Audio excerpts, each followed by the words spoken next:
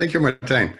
Um, yeah, the motivation was, was actually twofold. It was not only the sunspot, but uh, this summer there was a very interesting article by Carl Tape in the uh, Seismological Research Letters. And he proposed that we could use the portable array in Alaska. So that's the last segment of the US array. We could, we could use that array to track solar storms or rather auroras. And the two, the two are related and the two are related through sunspots. Now, I don't claim to be an expert on sunspots. Uh, my education in, in astronomy was that it was the minor subject for my first degree in physics, but that was half a century ago. Um, then when I was a graduate student, my thesis was on the higher modes of surface waves.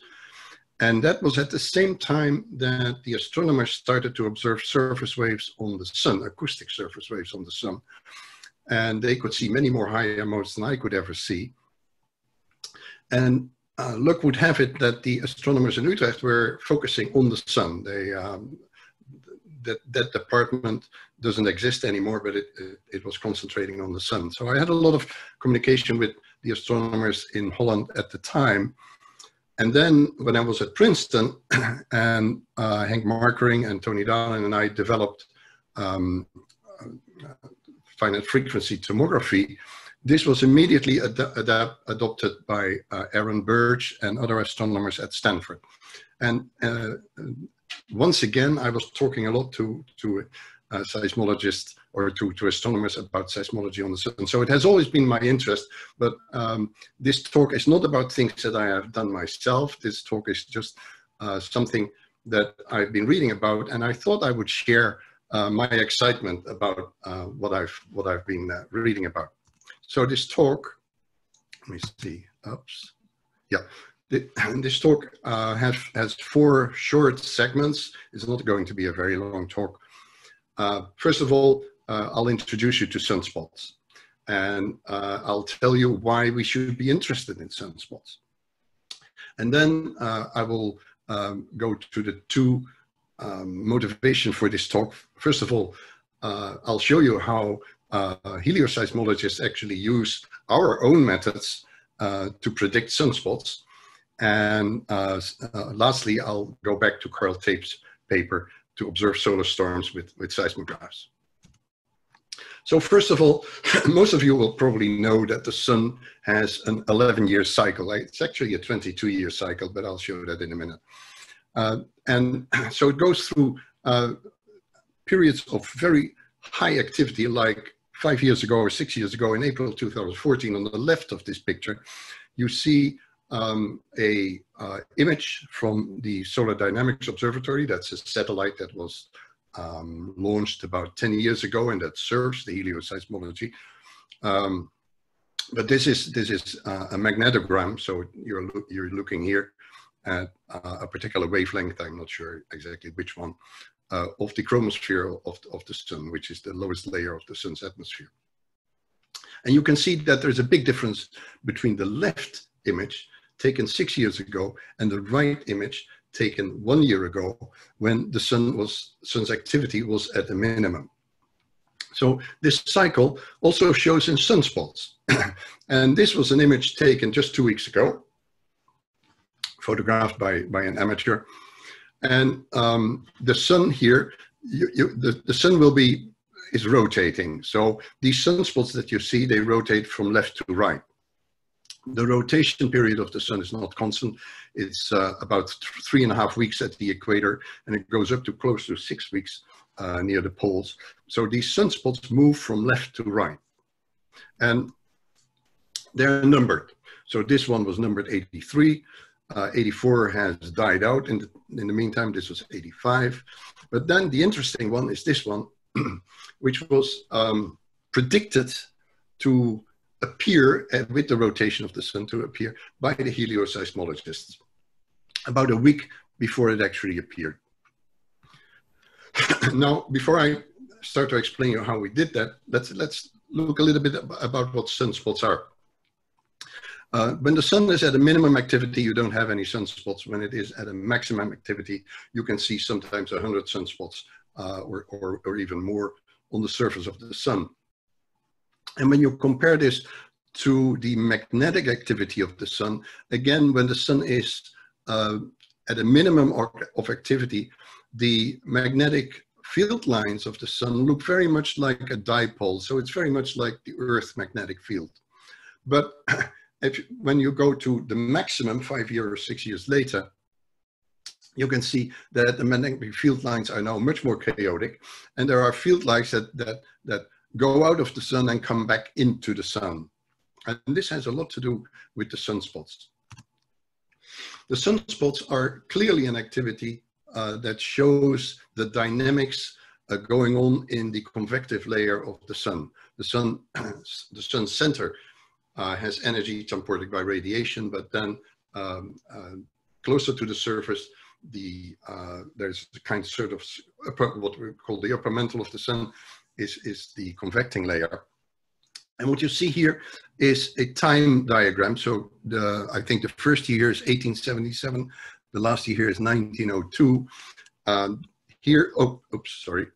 On, uh, on the vertical axis, you see the latitude. And it plots all, this, all, the, all the sunspots observed at the time in what we call a butterfly diagram. And what you can see is that when the the activity period starts at, at the beginning of the cycle, the sunspots are at high latitude and they move towards the equator until we have the end of the cycle. Now, the interesting thing is we, um, we, we can look at the splitting of um, the spectral lines of the sun and with the Zeeman effect, we can then actually measure the magnetic field at the surface of the sun. And what you can see here is that in the, the front edge of the sunspot, there's a positive um, polarization of the magnetic field.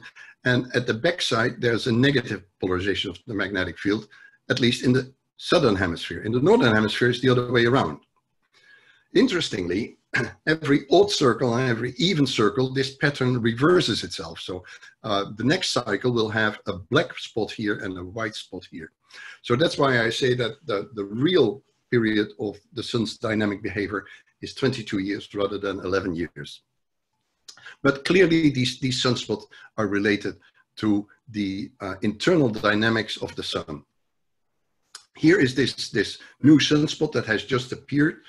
Uh, the size of this sunspot is about uh, four, four times the diameter of the Earth.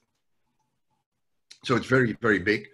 And it's, it's the first big sunspot of the new cycle. The new cycle started a year ago. It's the 25th cycle since we started observing um, the um, sunspot numbers um, regularly. And this one is, is the first really big one to appear in this, in this new cycle. So why should we be interested in sunspots? Well, let's look at these, these observations. The observations are rather spotty in the 17th century. Those are these red crosses. And then they are uh, continuous um, since about 1750. And we start uh, numbering our sun, sunspot cycles uh, in 1750. Now, uh, the sunspot number is sim simply the number of sunspots with some kind of formula um, that, is, that is visible uh, on any particular day. And what you can see is that, first of all, there is this uh, very big minimum in the um, 17th century, followed by a smaller minimum in the beginning of the 19th century, and a maximum in the second half of the 20th century. So clearly, uh, the sun goes through a much more longer cycle of activity than just the, the 22 year cycle. Now that, that, that Maunder minimum here that you can see here, where there are no sun, sunspots visible or hardly any sunspots visible, uh, is, of, is of very interest, very much interest to climatologists. This is a painting by Hendrik van Averdonk in the 17th century in the Netherlands. And what you can see is uh, that the population of the Netherlands is actually uh, enjoying itself on rivers and lakes and uh, canals that were all solidly frozen. And uh, this is something that uh, continued until the 20th century. Um, Martijn and I are probably the only ones who know about this, but there is uh, a, a, very famous skating race in the Netherlands called the 11 Cities Race, or the Elfstedentocht, in the province of Friesland. This, uh, every five or six or seven years, in the at least in the 20th century, um, the, the, the, canals would freeze so much that you could, could make a circle along 11 cities in Friesland. And that was always used to uh, organize a big race. The, the champion, the, the, guy who won this race would be a, a national hero for at least a decade, uh, invited for uh, talks on television, etc., etc. But the thing was that uh, even though we had this 11 cities race um, I think we have had it 14 or 15 times in the 20th century. The last was, was, was in 1997 and we haven't seen it since. So this is clearly um, a, a, reflection of uh, the global warming that we are seeing. And so uh, one could ask ourselves, um, is this, this, this Maunder minimum that we have here um, coincides with the small ice age? There was this Dalton minimum as well. Uh, how does that correlate with the climate? Well, here we, on the vertical axis here, we have the temperature anomaly reconstructed with uh, a kind of uh, probability density function because we uh, make a lot of errors in, in reconstructing that, but for about a thousand years. And when we look at the sunspot number here, and the, the time when we, we see here the Maunder minimum at the sunspot number is correlated with a uh, the small ice age, as we call it. A very small cold period. The Dalton minimum here is also correlated with a minimum in the temperature just a few years later. This is 1800 here. It starts just before 1800. This starts about at about 1800. So all kinds of reasons to, to think that the sunspots, the number of sunspots or the activity of the sun is related to the climate. However, when you talk to climatologists, they say, well, that's ridiculous. Uh, George Philander, my colleague at, at, Princeton, once told me, he said, if that is true, then we can throw away all the numerical simulations for the climate because uh, numerical simulations for the climate do not show any influence of the, um, the uh, radiation of the sun on the climate or a very small influence. It might mean that um, our modeling of climate lacks an, an, important feedback mechanism that we don't know about. But uh, so this is controversial. It's very controversial what the sunspot number has to do with the climate. The other reason that we should be interested in sunspot is that sunspots are not static phenomena. Um, they actually spew out um, uh, streams of uh, ionized gas, electrons and protons, that follow the magnetic lines. Here you see one of those, those, those uh, eruptions. And um, it's, it's easy to see why that is. Because if we have a magnetic field line be here, um, and we have a, a charged particle uh, moving, um, the component of the velocity in the direction of the magnetic field will not be influenced by the Lorentz force, but the component perpendicular to the magnetic field will be influenced by the Lorentz force. And as a result, the particle will actually circle around the magnetic field lines. And that's why they go up and then come down because the field lines return to the sun. Except when these kind of eruptions are so uh, violent then the particle may actually exceed, the particle velocity may exceed the escape velocity uh, from the sun. The escape velocity of the sun is some 600 kilometers per second. so that comes back then to how did we know that uh, there would be a sunspot because clearly these sunspots have to do with solar storms and solar storms might be a danger in the earth as, as we shall see in a minute. So the astronomers use um, uh, not seismometers on the sun's surface, um, but something equivalent to that, and it's called a charge coupled device. It's a little bit like what you have in your uh, iPhone as a camera, but it's uh, much more powerful than that.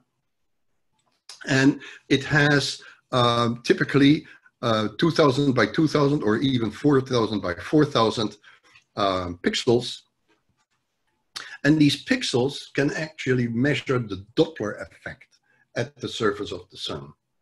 And that means that we have 2000 by 2000 or 4 million or even 16 million seismographs on the surface of the sun. So this is to make us uh, a little jealous, I think. So what can we do with that? Well, here is an image um, of the velocity of the Earth. This is uh, positive is white and negative is black, so we can see it go up and down. Here, what we actually see here, uh, the fact that it's light here means that we are simply looking at the rotation of the sun. If we subtract that, we see the right image.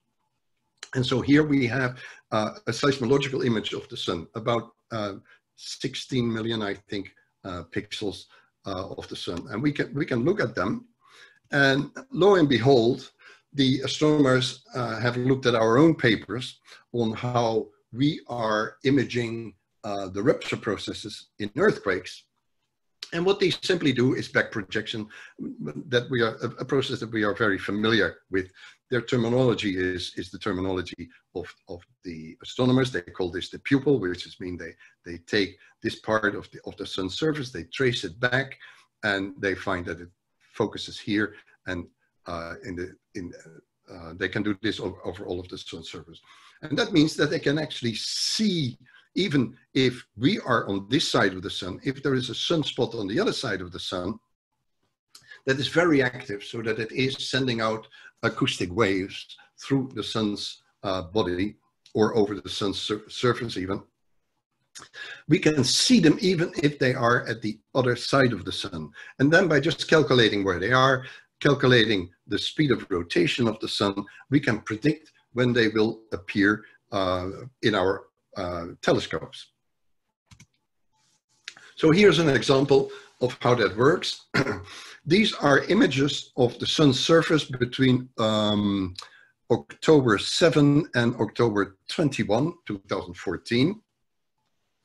Uh, you have to look at this as uh, you would look at an Earth map that is uh, always looking at the same part of, uh, of, the, of the Earth. So say uh, zero longitude would be in the middle and we keep zero longitude in the middle. But since the Earth is, uh, since the sun is rotating, the back, the, the backside of the Earth, so the sun rotates to the right, but since we keep the map constant, we will see that the backside of the Earth, which is this region here, which you see, for example, here, uh, is going left. So in October 7, it's here.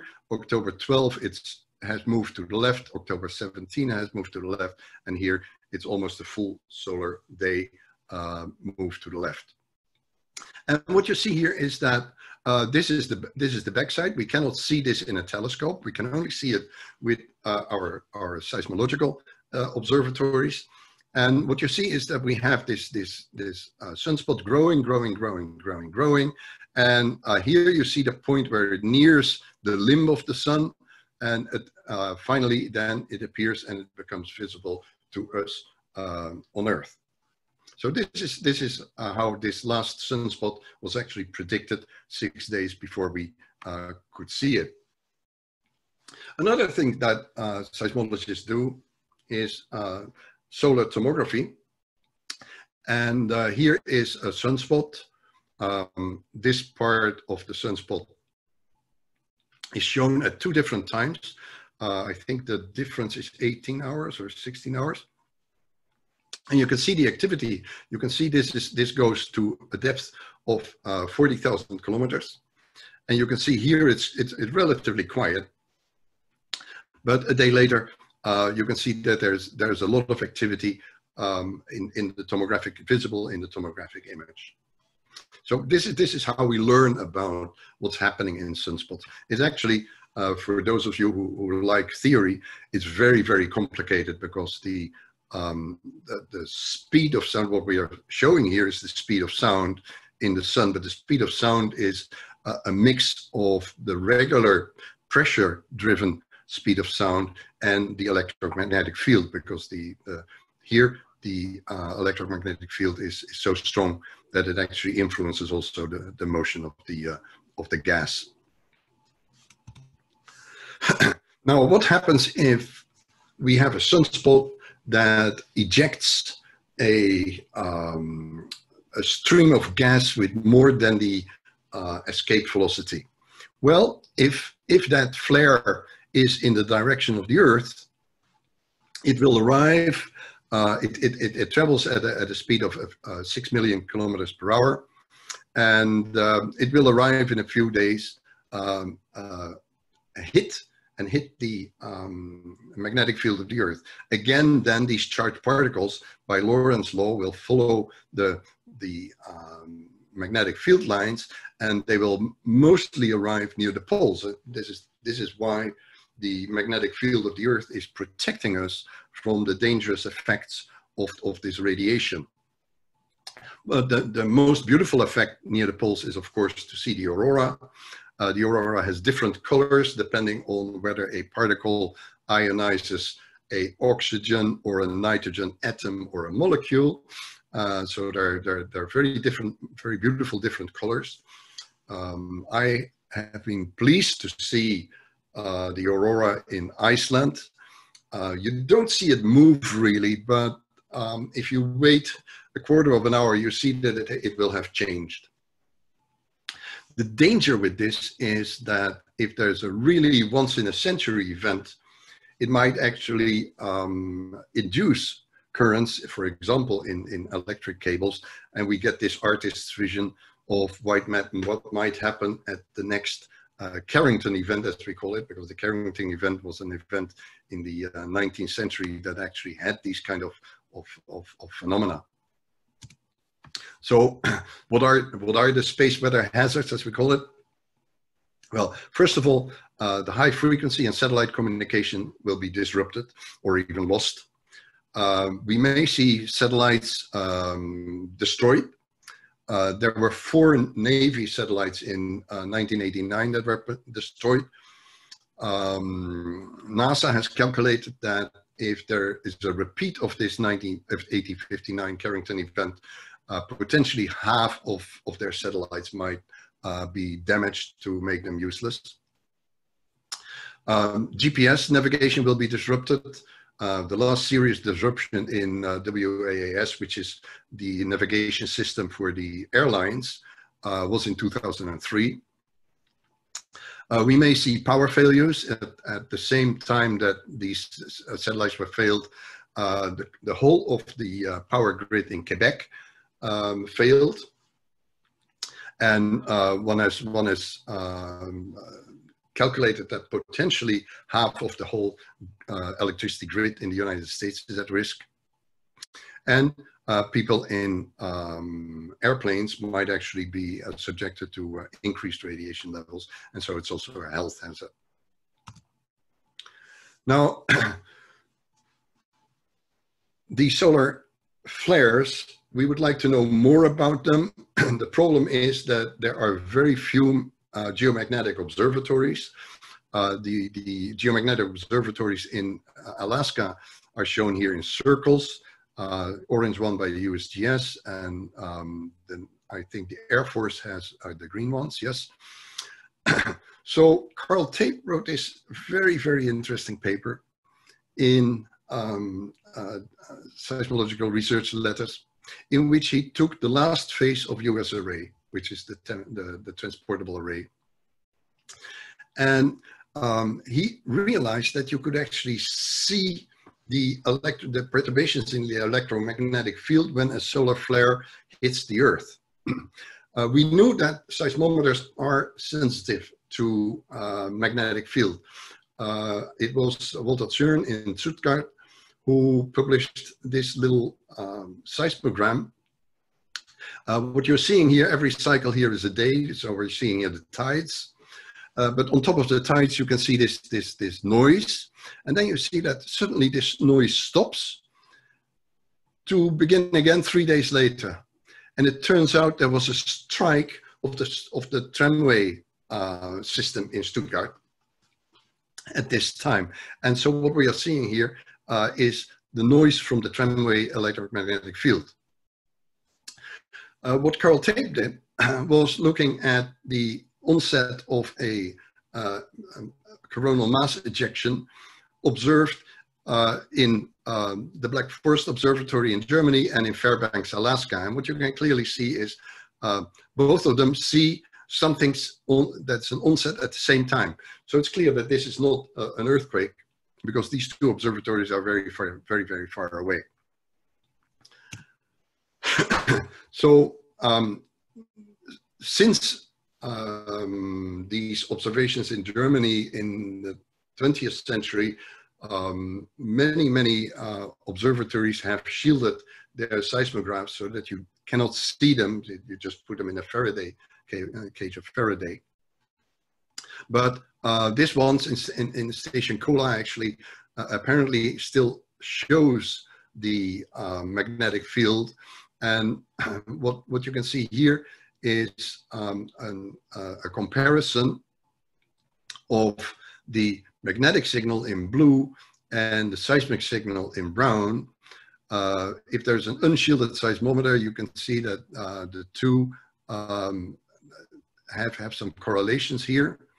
Uh, if you shield the seismometer, uh, you don't see the magnetic uh, signal, but here again is the um, magnetometer signal um, with three components, vertical, east, west, and north, south. So there is clearly uh, an, an, an, a possibility to observe the magnetic field with seismometers if they are not shielded. And the uh, US array seismometers, because it was always a temporary uh, deployment that could not cost too much, uh, people saved money by not shielding them and not putting them in a Faraday's cage. Here is uh, a photograph of an aurora taken at the same time as the observation on the seismograph. And you can see that, uh, yes, this is, this is a very nice uh, solar storm hitting the Earth uh, in um, February 2019.